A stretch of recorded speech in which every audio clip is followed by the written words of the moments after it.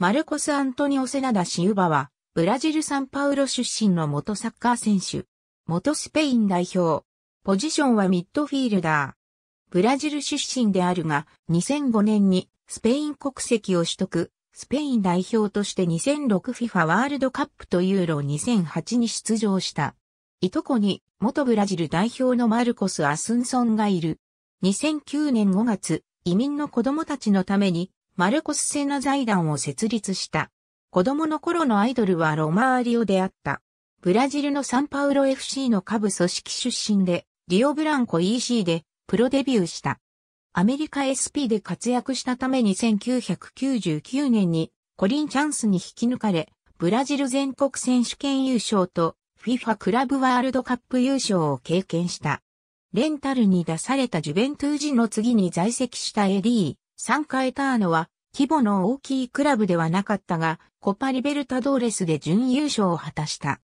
AD3 回ターノで共にプレーしたブランドンがいた FC シャフタールドネツクにも誘われていたが、スペインのビジャレアル CF に移籍した。2002から03シーズン途中、レアルベティス戦で左足十字靭帯損傷の大怪我を負い、残りのシーズンを棒に振った。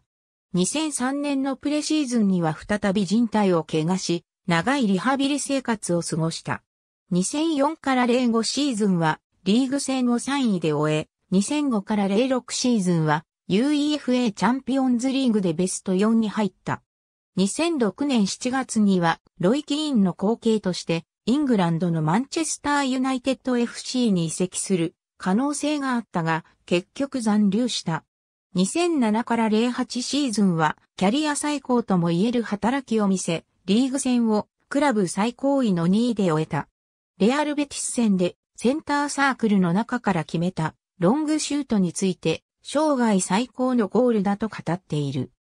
欧州選手権で活躍したために2008年夏のプレシーズンでは移籍の噂が絶えなかったが、フェルナンド・ロイグ会長がセナの違約金を3600万ユーロまで引き上げてたクラブを牽制し、セナ自身も残留を希望したために噂は立ち消えになった。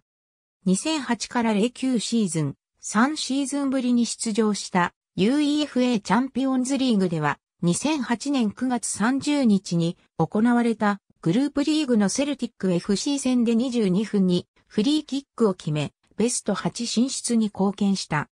11月25日のホームでのマンチェスターユナイテッド FC 戦では違和感を持ったために自ら交代を要求し、ハーフタイムにブルーノ・ソリアーノと交代した。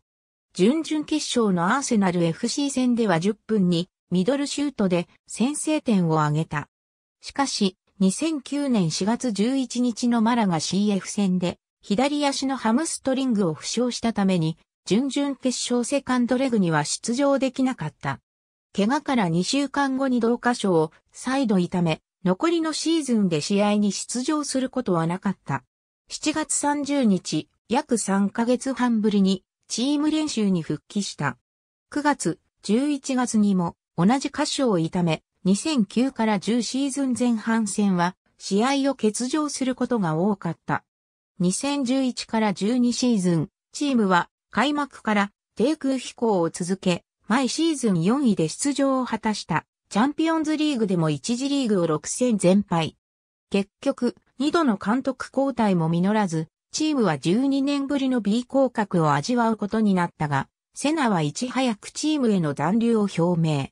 これを受け、チームもこれまでの彼の貢献を称え、背番号と同じスタジアムの19番ゲートをセナゲートと改名すると発表した。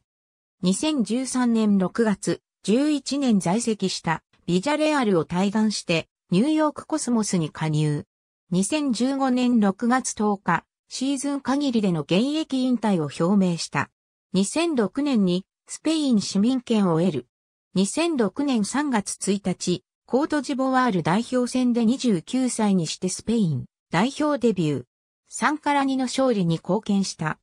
同年のドイツ W 杯にも出場し、レギュラーとして活躍するも、自身がスタメンから外れた決勝トーナメント1回戦のフランス戦で敗れ、ベスト16止まりだった。ワールドカップ後は長らく代表から遠ざかっていたが、ユーロ2008予選では代表のレギュラーだったアルベルダがバレンシアの内紛に巻き込まれて出場機会を失い試合感がなくなったことから代わってセナが招集された。大会直前の親善試合ではシャビアロンソとレギュラーを争い、最終的にレギュラーを獲得。迎えた本大会でも一貫して中盤の底として起用され続け、スペースを埋め、ボールを奪い、的確にボールをさばいて、時にはミドルシュートを打つなど活躍を見せた。準々決勝のイタリア戦では、PK 戦のキッカーを務め成功させた。スペイン代表が勝ち進むや、彼の評価は高まり、MVP 候補と囁かれるようになった。そのパフォーマンスは落ちることなく、決勝ではフェルナンド・トーレスの決勝点の起点となるパスを出して、チームを勝利に導き、44年ぶりの優勝の立役者となった。MVP には選出されなかったが、UEFA が選ぶベストチームに名を連ね、改めて彼の働きが認められた格好となった。なお、ブラジル出身の選手で初めて欧州選手権で優勝した選手となった。この大会には、ペペやケビン・クラニーなど、セナの他に4人のブラジル出身選手が出場していた。同年9月10日の南アフリカ W 杯予選のアルメニア戦では、ミドルシュートで代表初ゴールを挙げた。南アフリカワールドカップのスペイン代表候補30人に選出されたが、本大会に出場する23人からは外れた。ありがとうございます。